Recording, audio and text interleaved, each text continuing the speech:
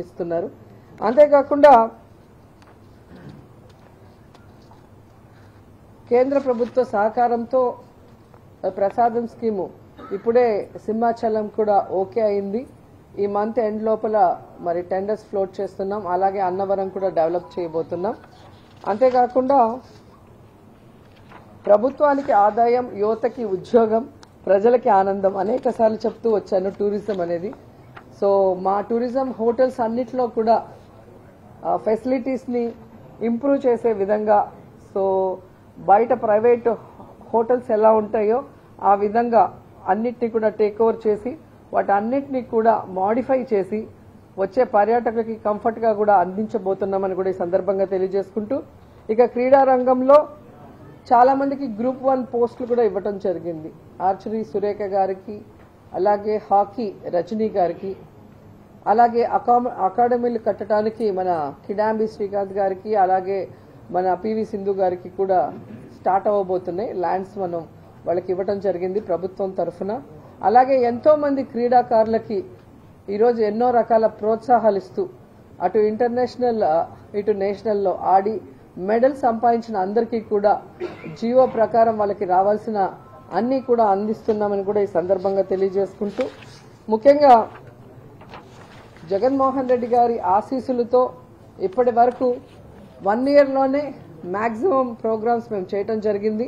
కానీ ఈ ఇయర్ అనేది బరువు బాధ్యతలు ఇంకా పెంచింది. ఎందుకంటే గ్లోబల్ ఇన్వెస్టర్ సమ్మిట్తో ఈరోజు అయిన ఎంఓఈలన్నీ కూడా గ్రౌండింగ్ అయ్యి అటు ఉపాధి అవకాశాలతో పాటు ఇటు టూరిజంగా ఏపీ ఇంకా ఫేమస్ అయ్యే విధంగా ముందుకు తీసుకెళ్తున్నాం. దీంట్లో టెంపుల్ టూరిజం అనేది మనకి ఎంత ఇంపార్టెంటో మీ అందరికీ తెలుసు. ఈరోజు టెంపుల్ టూరిజం వల్ల మనం దేశంలోనే టూరిజం థర్డ్ ప్లేస్కి రాగలిగింది. ఫుట్ఫాల్ అంతమంది మన స్టేట్కి వచ్చారు అంటే మనకున్నన్ని పవర్ఫుల్ టెంపుల్స్. సో ఇంకెవరికి లేదని నేను అనుకుంటున్నాను. సో దాన్ని ఇంకా కూడా మన ఎండోమెంట్ మినిస్టర్తో కోఆర్డినేట్ చేసుకొని డెవలప్ చేస్తామని కూడా ఈ సందర్భంగా తెలియజేసుకుంటూ ఇంకా ఆర్కియాలజీ డిపార్ట్మెంట్లో మీరు చూశారు బాపు మ్యూజియం కానీ కొండపల్లి ఫోర్ట్ కానీ ఇలా ప్రతి చోట కూడా డెవలప్ చేసుకుంటూ వాటి చరిత్రను రిఫ్లెక్ట్ చేసే విధంగా అక్కడ లేజర్ షోస్ పెట్టడమే కాకుండా ఈరోజు ఎన్నో మ్యూజియంస్ని కూడా అనంతపూర్ స్టార్ట్ ఫినిష్ అవ్వబోతుంది. అలాగే రాజమండ్రి దగ్గర ఒకటి ఫినిష్ కాబోతుంది.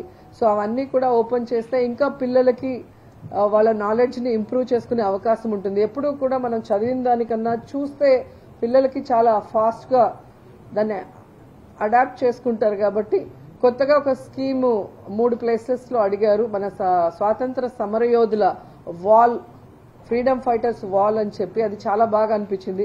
దాన్ని కూడా ఇంప్లిమెంట్ చేయబోతున్నాం. సో ప్రతి రాష్ట్రంలో కూడా ఫ్రీడమ్ ఫైటర్స్ ఉంటారు. వాళ్ళందరి డేటా మా దగ్గర ఉంది. సో దేశంలో ఉండే అందరి ఫ్రీడమ్ ఫైటర్స్ని ప్రతి రాష్ట్రంలో కూడా అది రిఫ్లెక్ట్ చేసే విధంగా పడుతున్నారు.